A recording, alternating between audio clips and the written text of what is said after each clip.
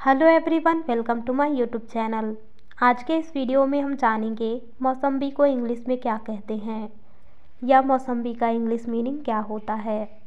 मौसम्बी का English meaning होता है sweet lime sweet lime example के द्वारा समझते हैं इसे। Sweet lime juice is refreshing मौसमी का रस सुखद होता है। मौसमी का रस सुखद होता है। इसी के साथ आज के इस वीडियो में बस इतना ही। ऐसे ही डेली वर्ड्स मीनिंग जानने के लिए चैनल को सब्सक्राइब ज़रूर करें। Thank you so much